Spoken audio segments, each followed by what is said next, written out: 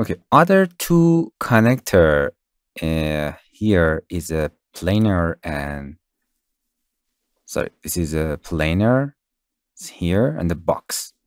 They are complex slider. It means, for example, in this scene here, we have a planar. Get this? This is a connector planar.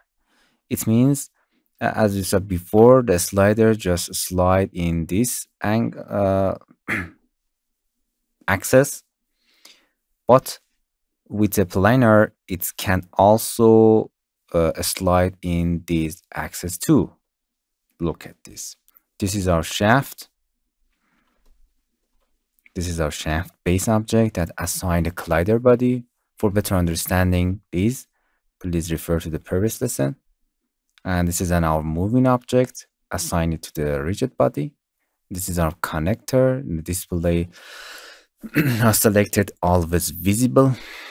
You can turn down the visual graphic. The object type planar planar. It's object a base. I prefer that.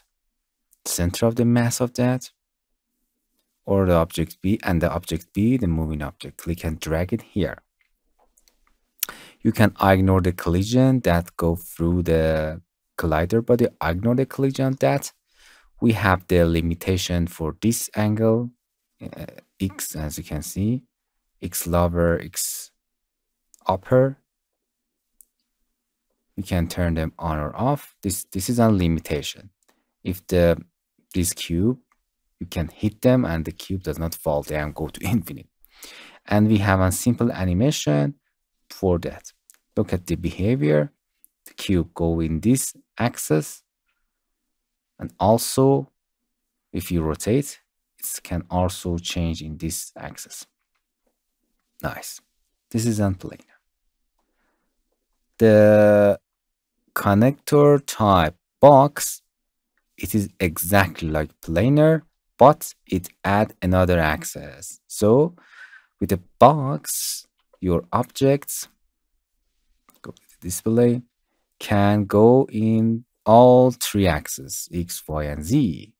If you go to the objects, you can add limit to x, limit to y, limit to z for upper and down uh, lower part.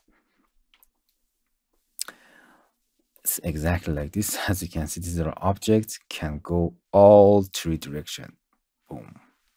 Imagine how complex movement you can use with that.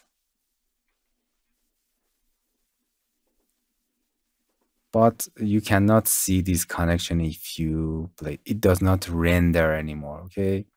Don't worry about that. You can see it in a flight 3d can see it.